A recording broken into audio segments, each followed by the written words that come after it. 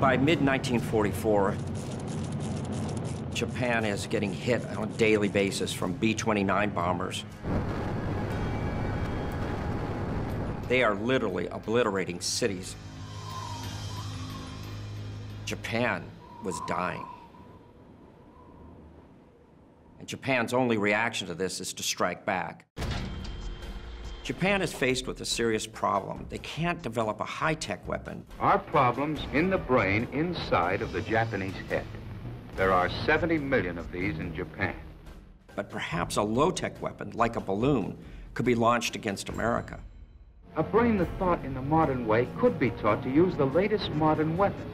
They develop a technology that is absolutely brilliant simple in its approach, but the technical ability of this bomb to be able to float to America and on its way be controlled by a series of sandbags that gets it to its target is incredible.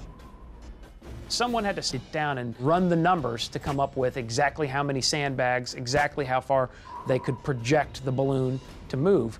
And I find that to be pretty incredible. That same brain today remains the problem, our problem.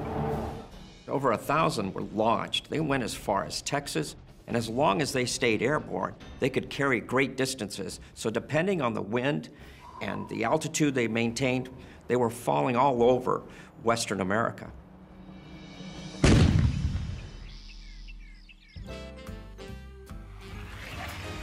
In May of 1945, a minister, his wife, and five children from their parish were out on an outing near a town called Lakeview, Oregon.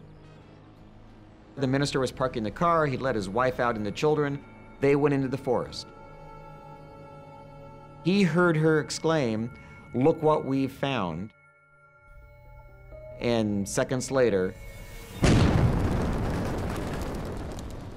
by the time he got up there, his wife, who was pregnant at the time and only 26 years old, and these five children were dead. It's tragic to think just how unlucky this family was.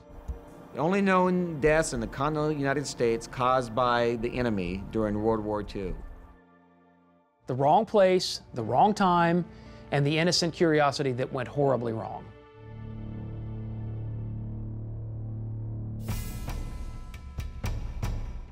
There are still balloons out there, obviously. Of the thousands they sent over, less than a thousand have been discovered. So you have to think that in the massive forests of the Pacific Northwest, Canada, Washington, Oregon, there are some balloons out there. If you're hiking in the Northwest, be a little careful. And if you see an element like a wheel with teeth on it, that's the sharp end of a disaster awaiting you, it can explode. They're still there. They're still waiting to be found.